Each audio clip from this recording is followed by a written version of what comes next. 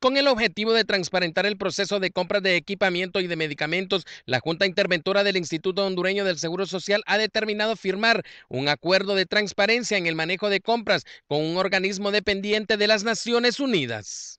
Lo que estamos haciendo con UNOPS, una agencia de Naciones Unidas con experiencia eh, en lo que nosotros requerimos para caminar eh, una ruta eh, de mejora para la institución. Por su parte, aunque ya es de todos conocidos la crítica situación del Seguro Social, se espera que este procedimiento pueda ir recuperando la credibilidad en dicha institución por parte de los derechohabientes.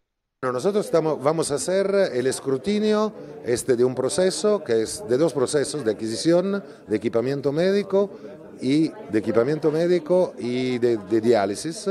Es lo que nos ha solicitado, digamos, bueno, el seguro, la Comisión de Banca y Seguros. Esta, esta organización eh, que tiene especialización en compras y en otras actividades, licitaciones, etcétera, eh, ahorita se nos está dando el apoyo a nosotros para reordenar adecuadamente todos los procesos que requiere el Instituto Hondureño de Seguridad Social para generar la mayor transparencia en los procesos de, de licitaciones, compras y todo lo que se requiera.